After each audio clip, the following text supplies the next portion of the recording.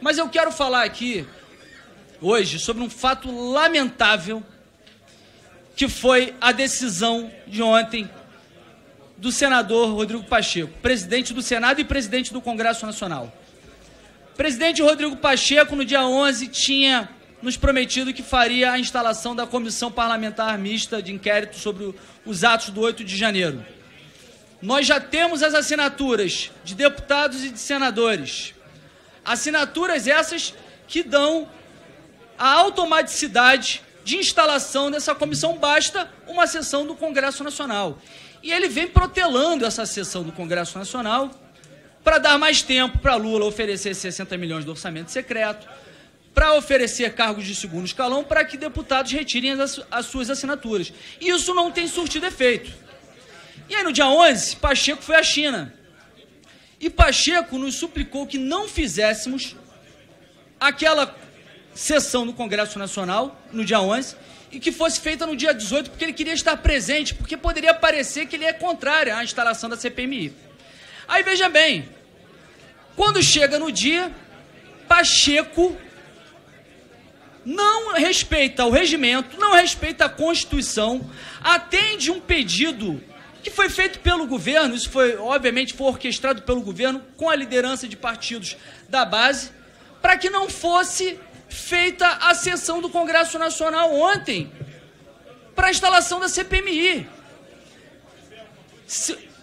O senador Rodrigo Pacheco não só desrespeitou o parlamento, a Constituição, mas mostrou que não tem palavra.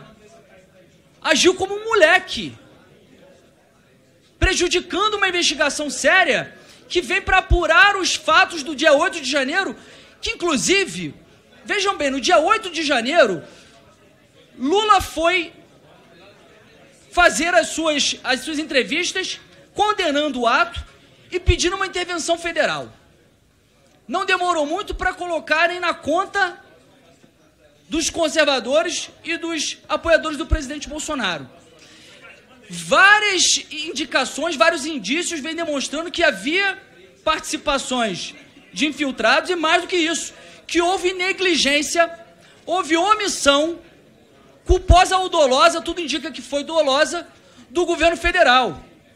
Nós já temos demonstrado que Flávio Dino tem mentido. Flávio Dino diz que ele não teve acesso a nenhum relatório ou ofício de órgãos de inteligência que mostrasse que havia riscos para acontecer os atos do dia 8 de janeiro, mas ele recebeu no dia 7 de janeiro, às 6h23, um ofício do, da, da, da Polícia Federal do seu DG, do seu diretor da Polícia Federal, alertando sobre os atos do dia 8 de janeiro. Lula colocou sigilo nas câmeras e não quer dar acesso a essas câmeras, às imagens das câmeras, e agora tem feito uma força-tarefa para impedir a CPMI.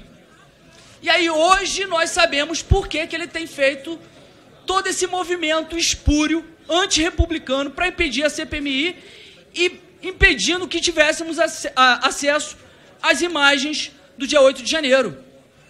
Vazaram as imagens, não sei se foi através da CPI que está acontecendo na Câmara Legislativa do Distrito Federal, mas mostrando que membros do GSI recuaram com a chegada dos manifestantes, deram água, inclusive o próprio ministro do GSI, Marcos Edson Gonçalves, transitando entre os manifestantes, como se fosse um, um amigo, um colega, dando água, retirando a segurança. E por isso que o Flávio Dino diz tanto que ele se exime de culpa, porque o policiamento do Distrito Federal seria feito pela PM e não pelo, pela Polícia Federal. O policiamento das vias é feito pela polícia, pela, pela polícia Militar do Distrito Federal.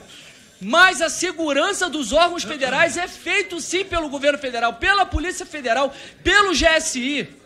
Houve uma omissão por parte do governo federal. E isso tem que ser apurado por essa casa. Aliás, tem que ser apurado pelo Congresso Nacional através da CPMI.